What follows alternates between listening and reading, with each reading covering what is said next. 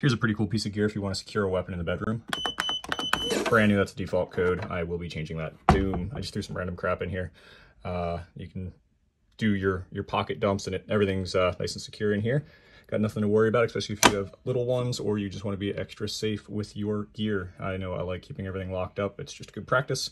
And this does link to your bed so you can actually uh, wrap the chain around the bed. So this guy weighs about four pound or five pounds, somewhere around there. It uses AA batteries. It does have your keypad up here and then a key down here in case the battery dies. So pretty cool.